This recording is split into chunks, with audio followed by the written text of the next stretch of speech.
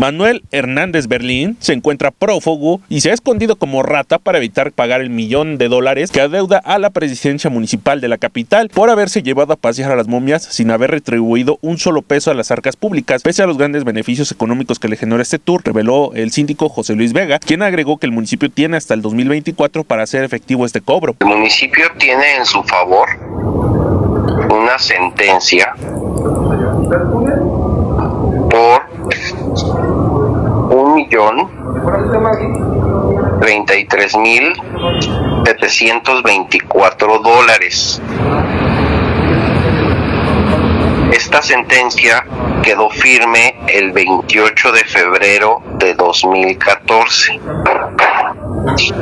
Y para poder ejecutar la sentencia, el municipio tiene hasta el 25 de febrero de 2024.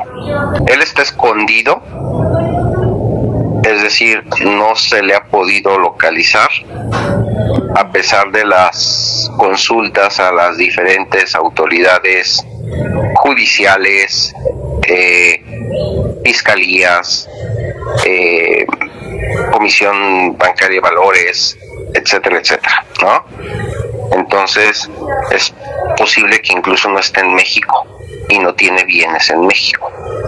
Entonces, por supuesto que él está jugándole a estar escondido y a no tener bienes sobre los cuales cobrarle. Señaló que desde el año 2014 han llevado a cabo dos intentos por localizarlo, tanto en su, un domicilio donde se puede estar escondiendo o algún bien que tenga su nombre para hacer efectivo el cobro de la deuda. No, no se ha hecho la contratación de un despacho para efecto de cobrar.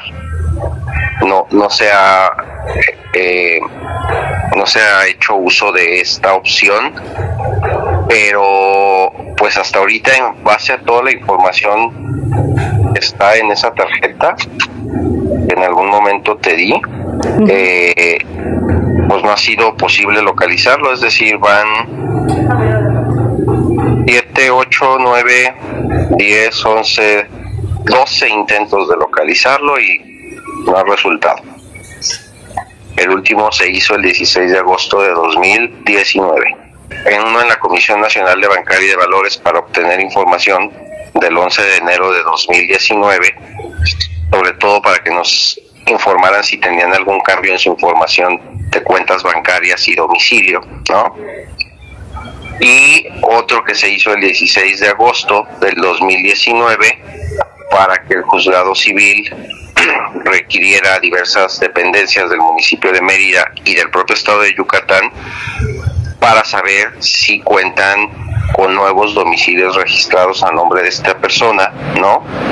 Y estamos en ceros. Finalmente dijo que hasta el momento no se ha hecho la contratación de algún despacho particular, aunque se tiene un plan de acudir con un despacho especializado en fraudes para que puedan rastrear alguna pista de Hernández Berlín, aunque esto implicaría estar gastando más recursos públicos. Hablé eh, hace algunos tres meses con el director jurídico y sí le pedí que viéramos la posibilidad eh, de identificar en Ciudad de México sobre todo, donde hay despachos muy profesionalizados en perseguir fraudes, eh, alguna opción que por sus niveles de conocimiento pudieran tener para tratar de hacer algo con este caso. Por el otro lado, este es dinero público. ¿Sí me explicó? Sí.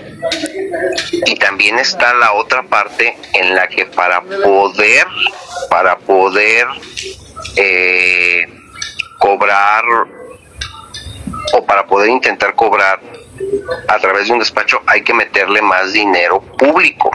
Es decir, una idea de estas en la que le metes dinero bueno al malo y el caso está complicado. Con imágenes de Alejandro Abundés para el sistema de noticias de TV Guanajuato informó Henry Velázquez.